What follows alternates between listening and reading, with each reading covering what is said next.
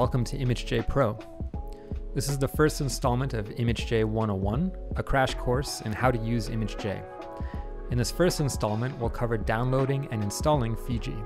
Before we talk about Fiji, let's talk about what is ImageJ. ImageJ was released by the NIH in 1997 as an open source Java platform for processing and analyzing scientific images. It's very popular with scientists in all fields, and particularly popular with microscopists. ImageJ also has a rich community of users who've developed thousands of plugins for a huge number of applications, but this can be daunting, and this is where Fiji comes in.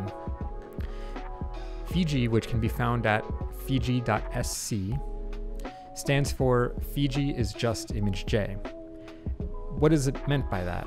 Fiji really is just ImageJ, but pre-packaged with thousands of different plugins, which are highly popular, validated, and incredibly useful for the standard user. So this is why Fiji is usually referred to as a batteries included distribution of ImageJ. When you go to fiji.sc, You'll be presented with a download link at the very top, which should be automated for the operating system on your computer. But if you need another version of it, you can click this drop down here, and you see that Fiji is packaged for all of the popular operating systems, Windows, Mac, and Linux. Once you download Fiji, it'll download as a simple zip file, which I've already downloaded for this video, and I've already unzipped here. And all that's inside of it is one folder that contains every component of the software necessary for operating Fiji. It's not a standard sort of installation uh, where you, download an executable and it installs as uh, a package on your computer, but rather everything is self-contained within this folder. And you're simply going to run everything off of this imagej-win64.exe or whichever name is for your appropriate operating system.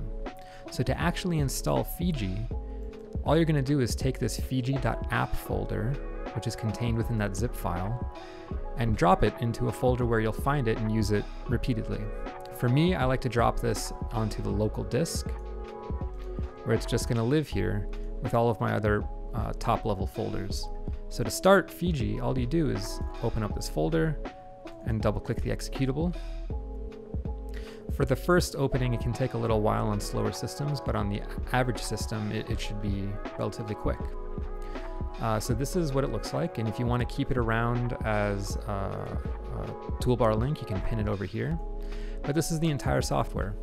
So everything that you're going to need is contained within either this uh, context menu here or within these subfolders for adjusting image contrast, processing, finding edges in binary, analyzing uh, different levels of co-localization or setting scale bars, plugins to do cell counting, or a huge number of other op uh, options.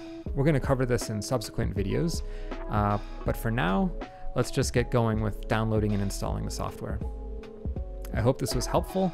Uh, please like and subscribe, and I'll see you in the next video.